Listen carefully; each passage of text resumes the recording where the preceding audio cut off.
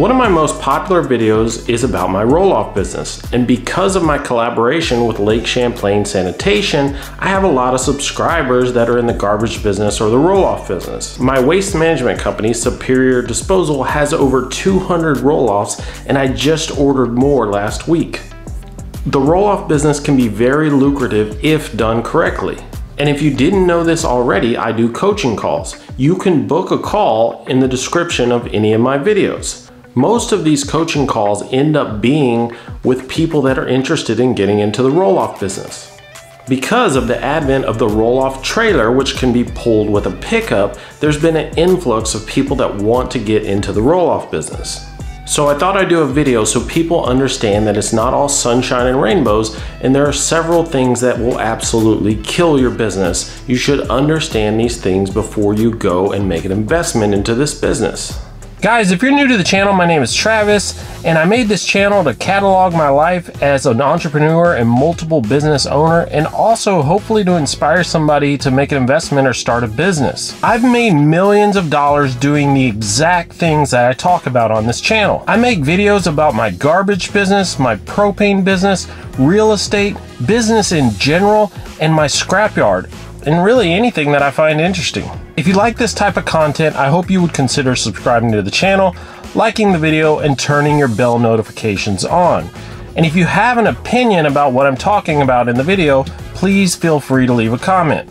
So let's get the obvious thing out of the way first. If the economy slows or stalls, things like the roll-off business will be one of the first things that stop. Business moguls Elon Musk and Mark Zuckerberg have both warned recently that we may be facing a very rough recession. These are people that are operating huge businesses and they're seeing from the top what's happening in the economy. The Federal Reserve has been raising interest rates, and usually this ends up in a stock market crash and a recession. How deep that recession goes is yet to be seen. To be clear, established roll-off companies in the right areas will only see a slowdown. But if you only have a few roll-offs and you do things like garage cleanups, you may be one of the ones that gets hit the hardest because consumers tend to cut back on things like this when the economy slows. Bigger companies usually have term contracts on big jobs or other revenue streams like residential routes that can carry them through tough times. They also usually have less debt in comparison to their assets, which brings me to my next point. Most of the people I talk to on these coaching calls about the roll-off business are financing all of their equipment. This is fine in times of economic expansion, but in a recession, this could be the Black Death. If your revenue streams slow down and you're having a hard time making ends meet, this is one problem. But the other problem is that if you decide to try to sell your equipment in the bad times, you may find that there's a lot less buyers, and the prices that these buyers are willing to pay are much lower than they were in good economic times. So you may not be able to just simply sell your equipment and pay off your debt and get out. You may get trapped and have to come out of your own pocket just to pay off the equipment even if you sell it. And this is actually a pretty good segue into my next point which is growth can kill you. If you're good at what you do and the opportunity is right, your business will flourish. Opportunities will come your way. But because the roll off business is not quite as profitable as people think, you're gonna have to pay for a lot of this growth either out of your own pocket or through financing.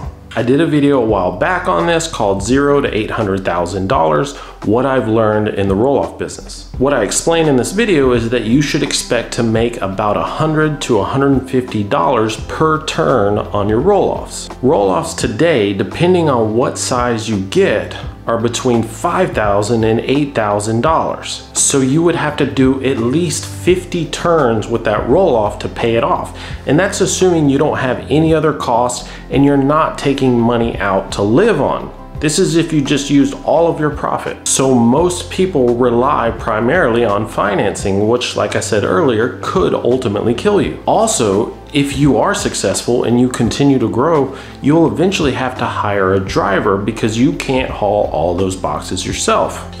Making the jump from driving yourself to paying somebody to drive for you might be a lot harder than you think. Not only is this going to hurt your margins in a big way, but it's also going to bring up a lot of regulatory things that are going to further take up your time and hurt your margins.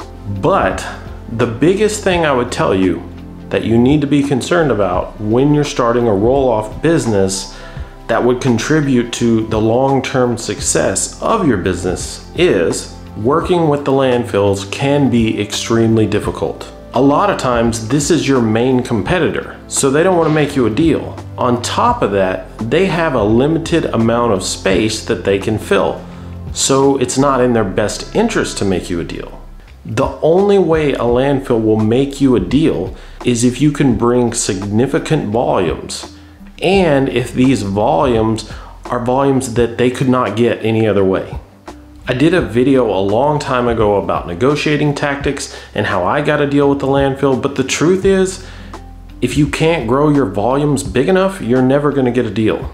So even if you do grow your volumes big enough, there's gonna be a time of suffering from when you start to when you get big enough that you're going to have to pay high landfill fees. At some point, you may have enough that you can negotiate a better rate, but they're not gonna do it until you get there. So there's gonna be this long time, for me, it was like three years that we were having to pay the same landfill fee that if a guy came up with a pickup truck and a trailer, he was paying.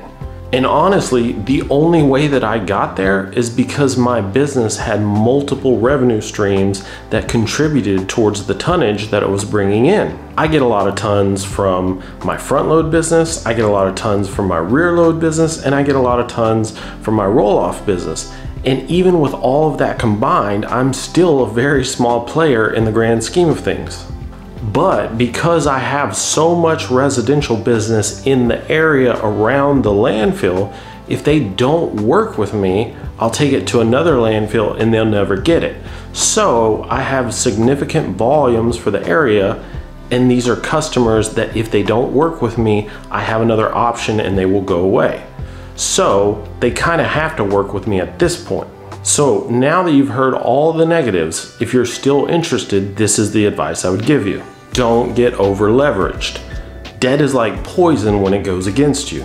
And make up your mind and decide from the beginning who you want to be. There's nothing wrong with being a small guy with a few boxes if that's who you want to be.